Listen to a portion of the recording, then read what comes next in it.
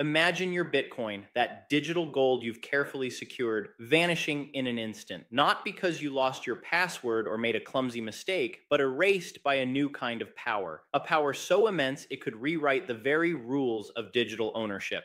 This isn't some far off sci fi plot. This is the dawn of the quantum age, and it poses a direct existential threat to everything you thought was safe the cryptographic shields that protect your Bitcoin, your Ethereum, your entire digital fortune are on the verge of being shattered. But behind the scenes, a secret war is being fought. It's a silent, high stakes arms race between the code makers and the code breakers. In this video, we'll pull back the curtain on the quantum threat that could make your Bitcoin disappear, and we'll reveal the incredible high tech solutions already being deployed to save it. This is the story of the fight for the future of money itself. To get a handle on this threat, we first need to understand the lock that protects your Bitcoin. Right now, every Bitcoin wallet is secured by something called public key cryptography. Think of it like a bank vault. Your public key, which is your Bitcoin address, is like the bank's mailing address. You can share it with anyone. But to actually open that vault and spend what's inside, you need a secret that only you have your private key. The entire security of Bitcoin and most of our digital world rests on one simple idea. It is virtually impossible for a normal computer to figure out your private key just by knowing your public key. Our current classical computers think in a straight line. They use bits, either a zero or a one. To guess your private key, a classical computer would have to try trillions of combinations, one by one. The number of possibilities is so huge, it would take the most powerful supercomputer on Earth billions of years to crack a single Bitcoin wallet your funds are, for all practical purposes, safe. But what if a new kind of computer could try all of those combinations at the same time? This is the terrifying power of a quantum computer. Instead of bits, they use qubits. Thanks to a bizarre principle of quantum mechanics called superposition, a qubit can be both a zero and a one at the same time. It exists in multiple states at once.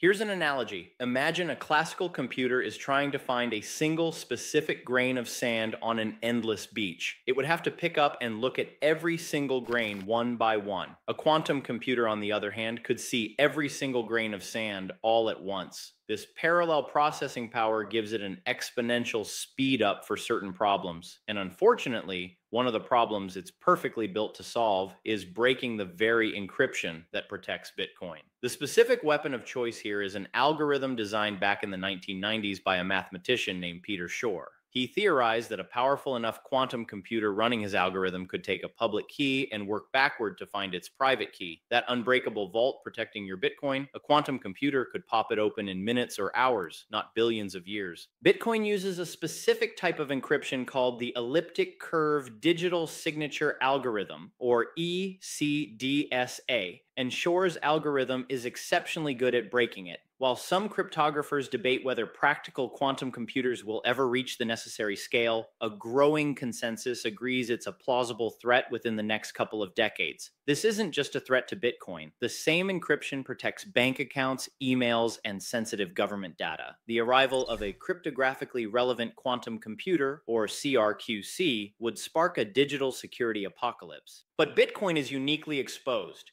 because its entire ledger of transactions is public, anyone can see every public key that has ever been used. It's a treasure map where the locations of the treasure chests are known to the whole world. The only thing keeping the treasure safe is the assumption that the keys to those chests are impossible to forge. Quantum computing threatens to shatter that assumption completely. So, the villain is on the horizon, but the danger is more immediate than you might think. A secret war is already underway, and the first shots have been fired. This isn't a war of bullets, but of data. It's built around a chillingly simple idea harvest now, decrypt later.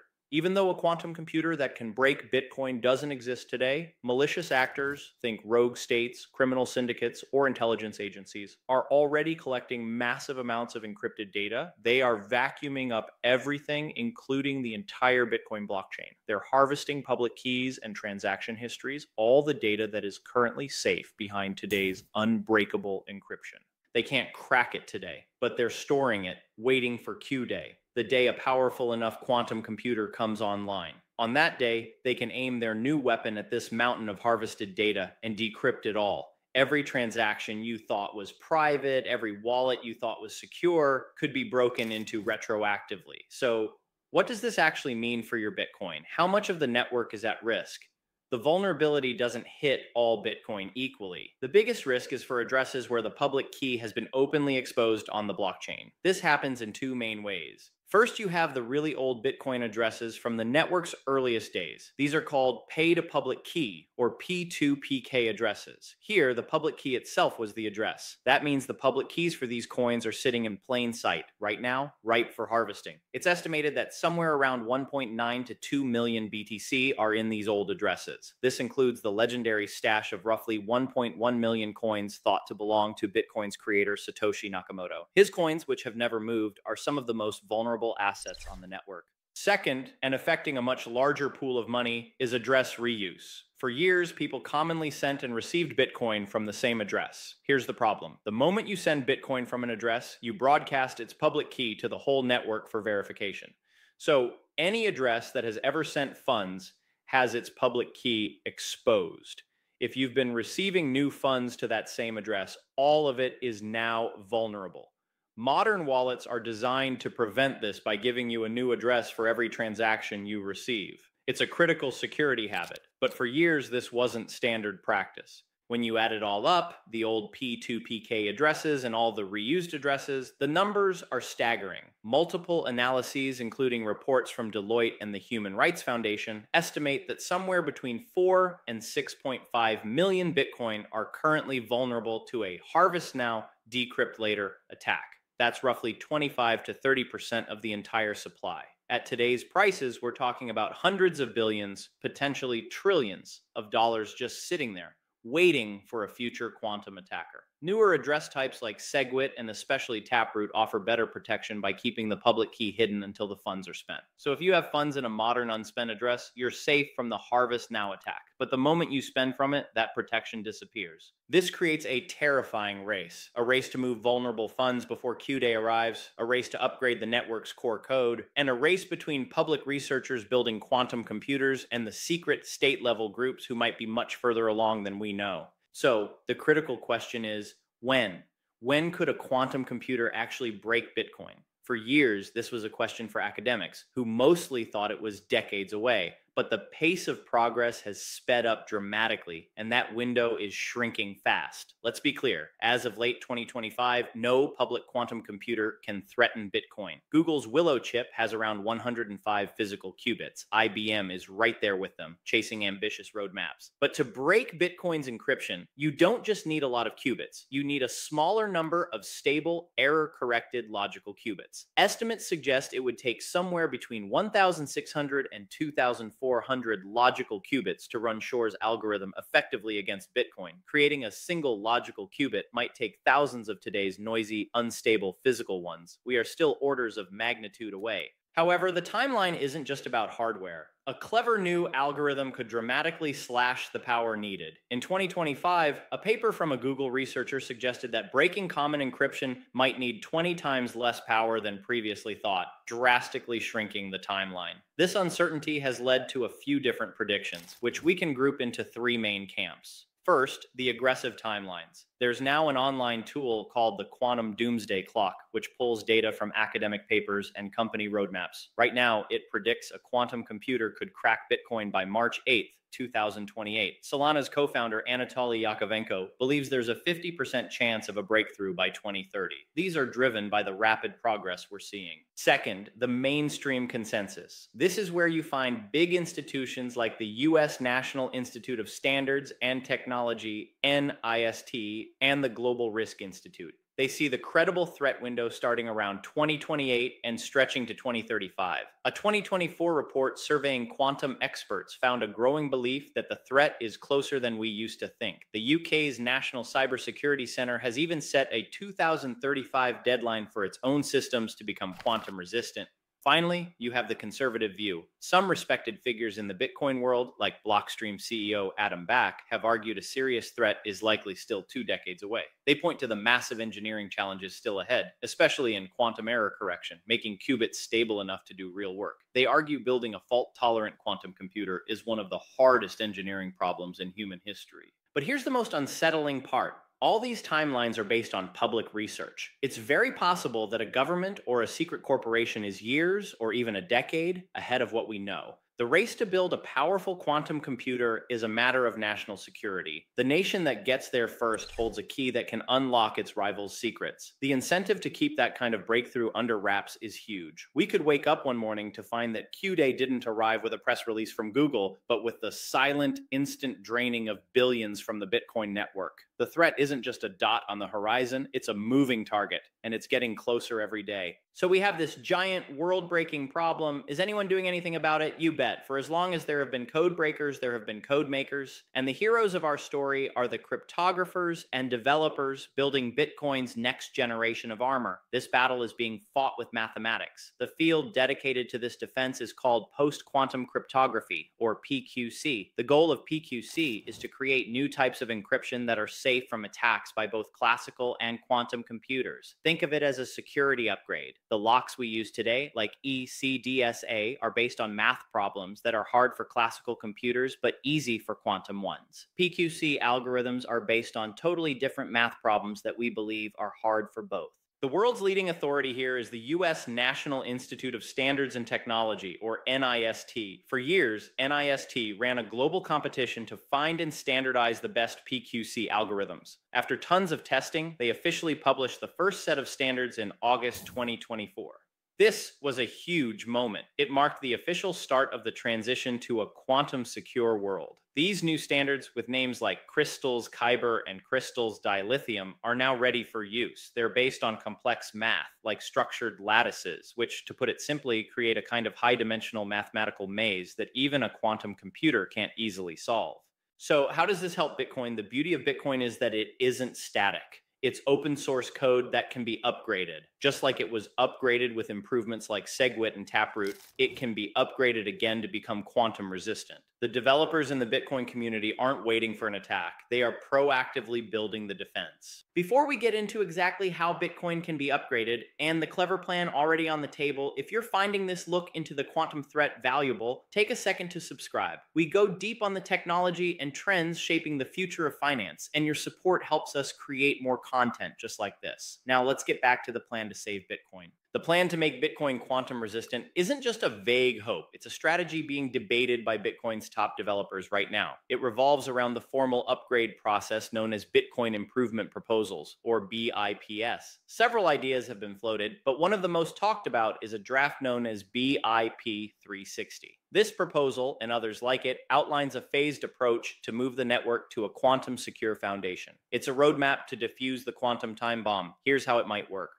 First, you'd introduce a new type of Bitcoin address. Let's call it a quantum resistant or QR address. This address wouldn't use the old ECDSA. Instead, it would use one of the new NIST approved PQC signature schemes like CRYSTALS dilithium. The proposal suggests something called a pay to quantum resistant hash. P2QRH address. But remember, this is all still under discussion. This would likely be done with a soft fork, a type of upgrade that's backward compatible. This is crucial for a decentralized network. It means people who don't upgrade their software can still use the network. They just won't see the new features. It allows for a gradual opt-in transition. Wallets, exchanges, and users could voluntarily start using these new ultra-secure QR addresses. This leads to phase one, encouraging adoption and stopping the bleeding. The first step would be to update wallet software to make these new QR addresses the default. Even more importantly, it would discourage users from sending Bitcoin to old vulnerable address types. This alone would stop the problem from getting any bigger. Phase two is where things get more controversial, but also more decisive. This is a hypothetical idea, but some have suggested that after a few years, the network could freeze the funds in any vulnerable address that hasn't been moved. This means the network rules would be updated to reject any transaction trying to move funds from an old P2PK or reused address. This sounds drastic, but there's a powerful logic to it. By the time Q Day arrives, these unmoved coins would be a massive bounty free for the taking for whoever has a quantum computer. Stealing those billions could destabilize the entire Bitcoin economy. Freezing them is a defensive move. It's like taking the prize off the table to protect the integrity of the network. Of course, this wouldn't happen overnight. There would be a long grace period, maybe several years, with a huge educational campaign urging everyone to move their funds to new quantum resistant addresses. The message would be simple migrate your coins, or they will be frozen to protect the network. Phase three would be the final piece of the puzzle. This part is still being researched, but the goal would be to create a way for the owners of those frozen funds to potentially recover them later. For example, a user might be able to use their original seed phrase to generate a special cryptographic proof allowing them to claim their funds. This would be incredibly complex, but it shows developers are thinking about protecting legitimate owners, not just security. The whole process would be a monumental task, the aspirational goal for some developers is to have the network fully quantum proof by around 2030, aligning with the more aggressive threat timelines. It's a proactive and comprehensive plan to perform open heart surgery on a multi trillion dollar financial network while it's still running. It's one of the most ambitious engineering challenges in finance, and it's happening right now. While the technical roadmap is getting clearer, the path forward isn't easy. The biggest challenges might not even be technical, but philosophical. They hit right at the heart of what Bitcoin is. The most contentious issue is the fate of those dormant coins. As we've discussed, there are millions of Bitcoin, including Satoshi's stash, in vulnerable addresses. Many are likely lost forever. The proposal to freeze these coins, while technically defensive, raises a huge philosophical question. Bitcoin's core promise is its immutability, the idea that the rules are set and no central authority can freeze your funds. A network rule change to deliberately freeze coins, even for a good reason, could be seen as a violation of that core principle. It sets a precedent. If the network can freeze coins to stop quantum theft, could it one day be pressured to freeze them for other reasons? This will spark a fierce debate. On one side, you'll have pragmatists who will argue that survival is everything. They'll say allowing a massive quantum theft would destroy Bitcoin's credibility far more than a defensive upgrade. On the other side, you'll have idealists who will argue that any compromise on Bitcoin's core principles is a slippery slope to centralization. There's no easy answer. It's a clash between two of Bitcoin's most important values security and immutability. The second major challenge is coordination. Bitcoin has no CEO. Getting consensus for a major upgrade requires requires coordination between thousands of developers, miners, exchanges, and millions of users worldwide. We've seen how contentious past upgrades have been. A quantum resistance upgrade would be an order of magnitude more critical and complex. And that social puzzle might be even harder to solve than the technical one. It highlights why it's so urgent to start the conversation now. The longer the community waits to agree on a path forward, the less time they'll have to implement it before the threat arrives. So, should you be worried? Should you sell all your Bitcoin? The story of the quantum threat is the ultimate test of Bitcoin's strengths, its adaptability, and its decentralized community of builders. The threat is real, but it is not immediate. The timeline is uncertain, but it is shrinking. What is certain is that the danger is not being ignored. A war is being fought in the open on GitHub and in developer mailing lists. The cryptographers and developers have already identified the enemy, understood its weapons, and are designing a new suit of armor. The solutions exist. The roadmap is being drawn. The work to upgrade the network to post quantum cryptography is already underway. This transition will be one of the most challenging moments in Bitcoin's history. It will test its governance and force tough conversations about its core principles. But this is what Bitcoin was built for. It was designed to evolve. The quantum threat is not the end of Bitcoin, it is the catalyst for its next great evolution. It will force Bitcoin to become stronger, more resilient, and truly ready for the future. The key takeaway is not fear, but vigilance. It's understanding that a lot of Bitcoin, especially in older wallets, is at risk. It's recognizing the importance of good security habits, like not reusing addresses, and it's appreciating the incredible proactive work being done by the developer community to safeguard the network for all of us. The quantum age is coming, but when it gets here, Bitcoin will be ready for it.